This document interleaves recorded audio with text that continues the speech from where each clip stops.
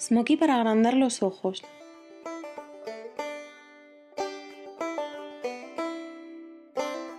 Empieza aplicando una base para sombras en el párpado superior, así durarán más tiempo y se trabajarán más fácilmente. Difumina el producto con el dedo.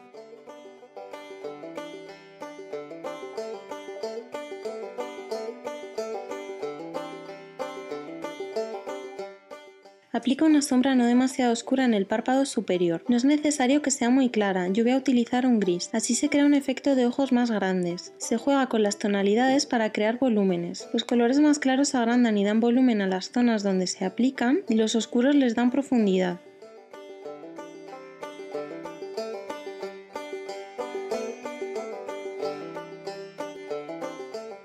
Marca la cuenca con sombra negra para degradarla más tarde creando el ahumado. Esto le da profundidad a la cuenca por lo que destaca el párpado superior haciéndolo parecer más grande, y por lo tanto los ojos también. Hazlo con los ojos abiertos para ver bien dónde queda la cuenca. Dibuja una punta en el final que vaya hacia la ceja para crear un efecto de ojos almendrados. Usa un pincel plano para más precisión. Una vez que la cuenca está terminada, con los ojos cerrados rellena el espacio vacío que haya quedado entre esta y la sombra del párpado superior. Dibuja también el final del párpado inferior y únelo con el resto. Esto le da intensidad a la mirada.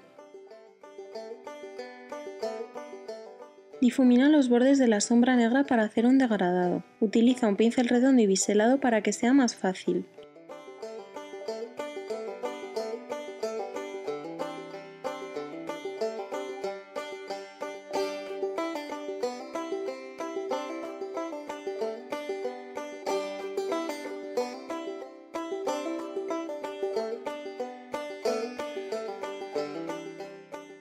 Aplica una sombra clara y nacarada en el lagrimal para iluminar y abrir la mirada con la ayuda de un pincel pequeño para que la sombra quede justo donde queremos.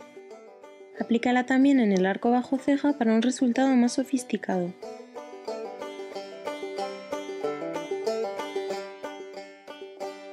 Delinea el interior del párpado inferior con un lápiz crudo que en contraste con la sombra negra del párpado inferior agranda considerablemente los ojos.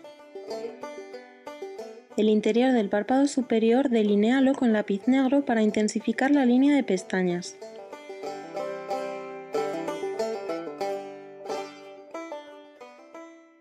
Riza las pestañas.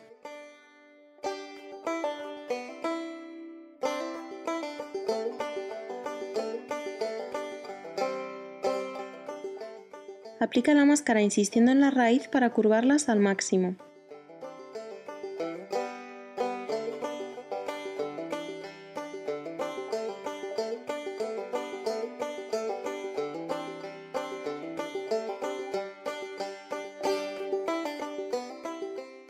Aplícala también en las pestañas inferiores para agrandar los ojos aún más.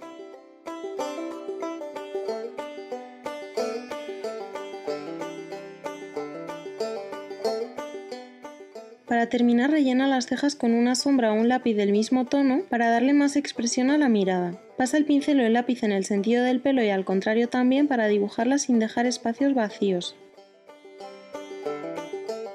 Pásales el cepillo de cejas para que queden perfectas. Y ya estás lista.